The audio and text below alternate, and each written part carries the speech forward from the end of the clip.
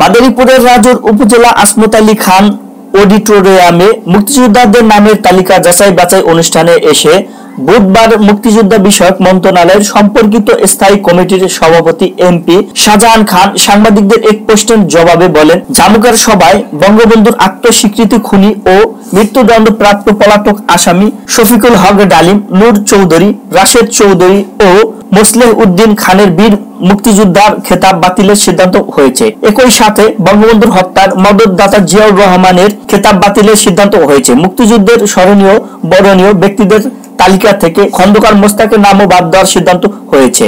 শাহজাহান খান আরও বলেন, খেতাব বাতিলের ব্যাপারে তিন সদস্য বিশিষ্ট কমিটি গঠন করা হয়েছে। এই কমিটির সদস্যরা হলেন ইঞ্জিনিয়ার মোশারফ হোসেন, আমি নিজে শাহজাহান খান, উপাধ্যক্ষ আব্দুল রশিদ। এই কমিটির আইনগত বিষয় সহ আইন মন্ত্রণালয়ের মিটিং সহ বিভিন্ন প্রস্তাবনার প্রস্তাব করবে এই কমিটি শীঘ্রই বসে আইনগত বিষয়গুলো পরীক্ষা নিরীক্ষা করে প্রস্তাবনা দেবে।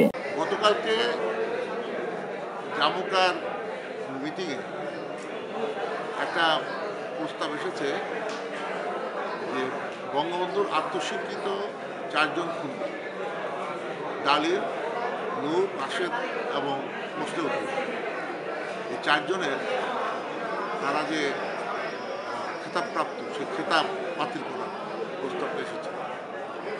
সেটা অনুমোদন হয়েছে। একই সঙ্গে একটা আলোচনা এবং এই ব্যাপারে একটা সিদ্ধান্ত হয়েছে। সেই সিদ্ধান্তটা হলো যে বঙ্গবন্ধু হত্যার সঙ্গে মদতদাতা জিয়াউর রহমান এবং খন্দকার মুস্তাক। তাদের বিষয়টাও কিন্তু এখানে উঠে এসেছে। সেখানে একটা সিদ্ধান্ত হয়েছে যে জিয়াউর রহমানের খেতাবটাও বাতিল হবে এবং খন্দকার মোস্তাক, যার নাম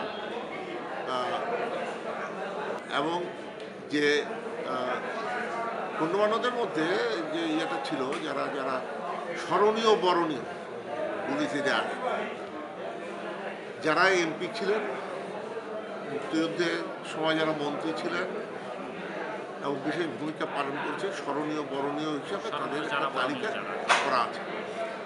সেই স্মরণীয় বরণীয় তালিকার থেকে বাদ যাবে খন্দকার মুস্তাকের নাম। এ ব্যাপারে একটা সিদ্ধান্ত আমাদের উঠেছে এসেছে তবে আইনগত কিছু বিষয় এখানে রয়ে যায়। সেই বিষয়টাকে দেখার জন্য একটি কমিটি করা হয়েছে। সেই কমিটি আইনগত বিষয়, আইন মন্ত্রণালয় রেটিং সহ এই ব্যাপারে একটা পূর্ণাঙ্গ প্রস্তাবনা দেওয়ার জন্য একটা সিদ্ধান্ত গৃহীত হয়েছে। এবং সেটা খুব শীঘ্রই কাজ করবে। এই কমিটির মধ্যে ইঞ্জিনিয়ার মোশারফ হোসেন, আমি এবং আমাদের উপাধ্যক্ষ আব্দুল শহীদ এই তিনজন আমরা সদস্য। আমরা খুব শীঘ্রই বসে আইনি বিষয়গুলোকে আমাদের পরীক্ষা নিরীক্ষা করে আমরা একটা প্রস্তাব